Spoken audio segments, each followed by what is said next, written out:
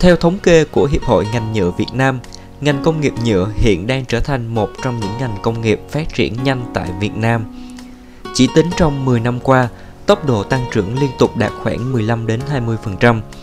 Nhiều doanh nghiệp đã tăng cường mẫu mã chất lượng đáp ứng nhu cầu thị trường, cung cấp đủ cho sản xuất, tiêu dùng, đã thể hiện sự đóng góp tích cực cho kinh tế xã hội. Trong số đó có công ty cổ phần nhựa Bình Minh.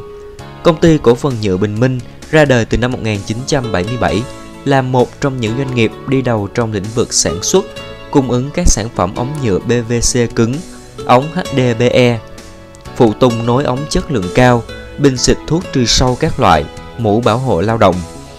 Hiện công ty có 3 nhà máy sản xuất được đặt tại thành phố Hồ Chí Minh, Bình Dương và Hưng Yên.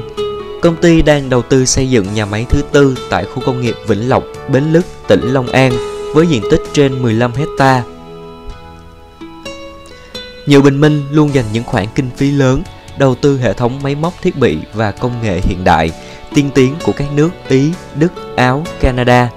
Với việc áp dụng hệ thống quản lý chất lượng theo tiêu chuẩn ISO 9001-2008, cùng đội ngũ cán bộ kỹ thuật trình độ cao, nhiều năm kinh nghiệm, nhiều Bình Minh đã tạo ra những sản phẩm uy tín về chất lượng, đa dạng, độc đáo về kiểu dáng, phong phú về màu sắc, độ bền cao, dễ sử dụng, đáp ứng tốt nhu cầu của người tiêu dùng trong và ngoài nước. Để sản xuất ống HDPE cỡ lớn phục vụ cho các dự án cấp thoát nước tại Việt Nam, công ty đã đầu tư dây chuyền sản xuất ống HDPE đủ các kích cỡ đường kính 710, 800, 900, 1000 và 1002 mm theo tiêu chuẩn ISO 4427 trên 2 2007 với tổng giá trị đầu tư 80 tỷ đồng.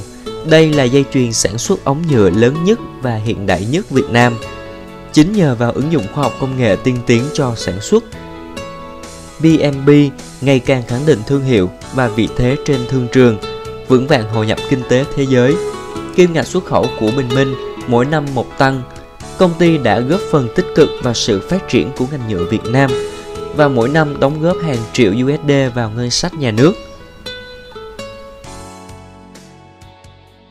Để ờ, chiếm lĩnh được thị trường, chiếm lĩnh được lòng tin là điều quan trọng. Thì ờ, chúng tôi có ờ, đặt ra một chiến lược. Trước tiên đó là phải luôn giữ vững chất lượng của sản phẩm. Tiếp theo chúng tôi phải tìm mọi cách để thỏa mãn dịch vụ cho khách hàng. Và để đạt được hai cái chiến lược đó thì chúng tôi có đặt ra những cái tiêu chí để thực hiện. Tiêu chí thứ nhất là thiết lập một sự tôn trọng khách hàng đối với toàn thể cán bộ công nhân viên. À, tiêu chí thứ hai là chúng tôi tạo ra một ờ, trạng thái bình đẳng giữa khách hàng và nhà sản xuất. Và tiêu chí cuối cùng chúng tôi mong muốn được chia sẻ với khách hàng những niềm vui nỗi buồn à, làm cho khách hàng trở thành người bạn đồng hành đáng tin cậy của nhựa bình minh. Công ty đã mở rộng mạng lưới tiêu thụ sản phẩm với hơn 500 cửa hàng trên khắp các tỉnh thành trong cả nước đã được người tiêu dùng tin tưởng. BNB cũng đang mở rộng phát triển thị trường quốc tế, xuất khẩu sản phẩm sang Lào, Campuchia, Singapore, Pháp, Bỉ.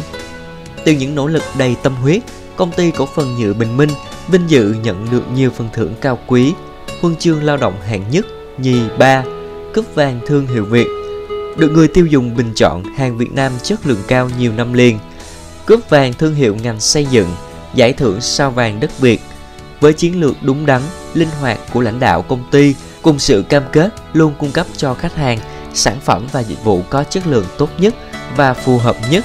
Thương hiệu Nhựa Bình Minh tự tin và vững vàng hội nhập vươn ra biển lớn.